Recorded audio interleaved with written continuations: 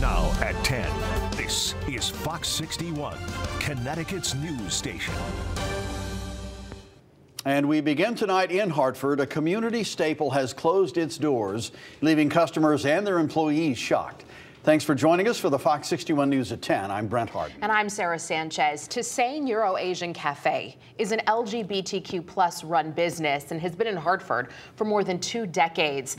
But last night, word started to spread that the cafe would close its doors for good. And by this afternoon, it was official. Fox 61's Jake Garcia spoke with several Hartford locals who say they are absolutely devastated.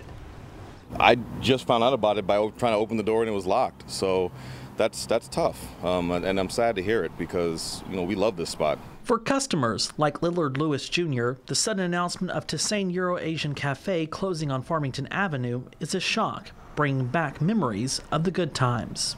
The place has so many memories between karaoke, between getting late night tea or late night food, um, and just having a nice, safe place to hang out. The news coming out of the blue for customers and artists who had events lined up, including a drag performance scheduled for Tuesday night. Uh, we have performers coming from Boston. We had uh, Robin Fierce here from RuPaul's Drag Race.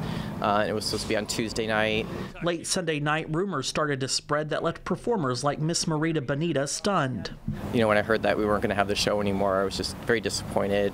One, that like the company didn't reach out to tell us ahead of time because we were actually still planning music and costumes and makeup up until yesterday. Monday afternoon, the news was official. Tisane's posted a statement to their website and social media channels saying they were closed for good. A former employee says she's not surprised by the closure. It was not surprising, super sad, but after the years of neglect that this place went through via upper management, it was not surprising at all. In a statement, the Locals 8 hospitality group, which owned Tisane's, said in part, quote, Locals 8 is making every effort to relocate Tisane's staff to positions at other Locals 8 restaurants in the greater Hartford area. Hurley says many of the current employees that she knows are passing on that offer. It was the same when the half door closed. They offered them, oh, you can go here or here, but no one wants to work for a company who is that neglectful and treats their employees like that. Despite tensions, this restaurant was a beloved staple in Hartford's West End for two decades. Um, and you know, it's just a great community, a great queer and LGBTQ plus space. That's kind of a safe space and one of the last few remaining kind of in Hartford area. In Hartford, Jake Garcia, Fox 61, Connecticut's news station. Jake, thank you. Locals 8 Hospitality Group says it will accept Tisane gift cards at its other locations and will refund tickets for any events that had to be canceled as a result. All right, time now for a first look at the weather. We have another nice day on tap for tomorrow and uh, plenty of chances of rain for the rest of the week. Yeah, but it's a little chilly out there. Let's check in with Chief Meteorologist Rachel Frank. Such a nice day, but then those temperatures drop tonight, Rachel. Yeah, don't worry. You will not be using the word chilly at all during the day tomorrow. We're looking at highs in the 70s to near 80 degrees, but almost the rest of the week looks cooler then tomorrow. We've got a warm front lifting through, a boost in the cloud cover, but it looks like the rain stays away. Temperatures are in the 50s to near 60 degrees at the moment, and we're looking at overnight lows that will drop back into the lower 50s as we head towards daybreak tomorrow. Tomorrow we are starting off the day nice and bright, a few clouds out there, but overall a nice start with temperatures beginning in the 50s. It'll get even brighter as we head through the midday and afternoon, a bit breezy with winds out of the south south at about 5 to 15 miles an hour. We're looking at temperatures in the low 70s at lunchtime and high temperatures that will be between 75 to near 80 degrees. So nice and warm for you out there. Along the Connecticut shoreline, because the wind is coming out of the south over that cooler Long Island Sound, temperatures will be closer to 70 as we head through the afternoon.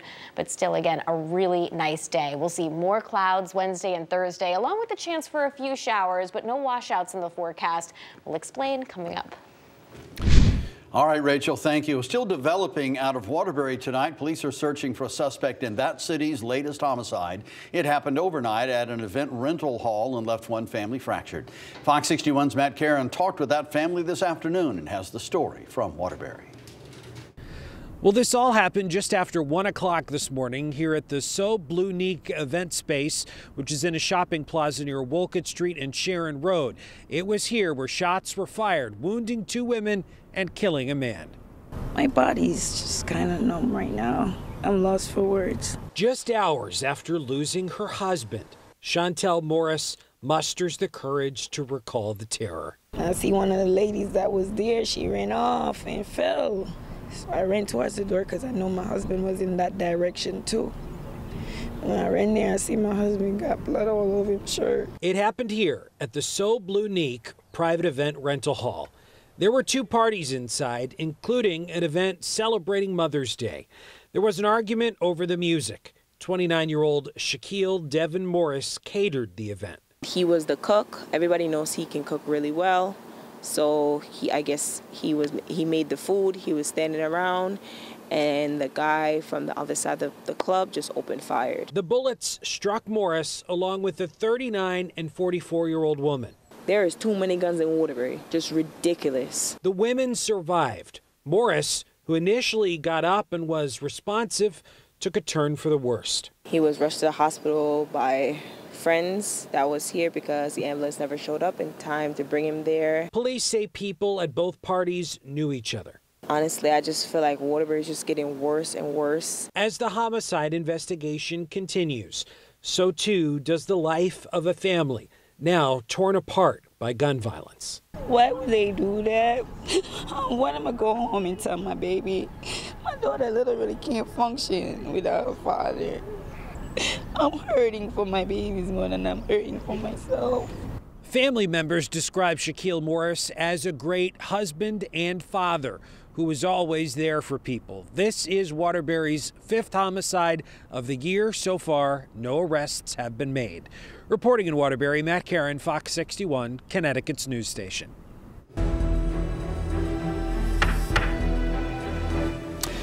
The man accused of kidnapping a woman in Southbury last week made his first appearance in court this morning. Brian Lambert is accused of forcibly pushing a woman into his car and driving off on Friday. A witness called 911 after they reported seeing a man drag a woman through a wooded area and forcing her into a car.